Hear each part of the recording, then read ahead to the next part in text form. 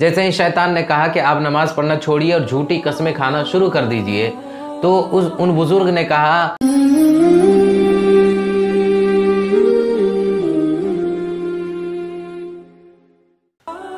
अस्सलाम वालेकुम रहमतुल्लाहि वरकatuh एक मरतबा एक बुज़ुर्ग कहीं तशरीफ़ ले जा रहे थे।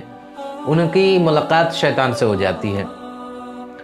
अब वो बुज़ुर्ग शैतान से जब मिलते हैं तो शैतान से कहते हैं कि ए शैतान मुझे ऐसा अमल बता कि मैं तेरे जैसा हो जाऊँ। मुझे ऐसा काम बता कि मैं उसको, उस पर अमल करे, उसको काम को पूरा करके मैं तेरे जैसा हो जाऊँ। शैतान ने ये कहा कि आप नमाज़ पढ़ना छोड़ दीजिए और झूठी कस्में खाना शुरू कर दीजिए। जैसे ही शैतान ने कहा कि आप नमाज़ पढ़ना छोड़िए और झूठी कस्में खाना शुरू कर दीजिए तो उस, उन बुज़ुर्ग ने कहा कि मैं आज से अहद करता हूँ कि कभी नमाज़ नहीं छोड़ूँगा और कभी झूठी कस्में नहीं खाऊँगा। कभी नमाज़ तर्क नहीं करूँगा और कभी झूठी कस्में नहीं खाऊँगा तो शैतान ने भी अहद किया और कहता है कि मैं भी अहद करता हूँ कि कभी किसी को नसीहत नहीं करूँगा। कभी किसी को नसीहत नहीं करूँगा।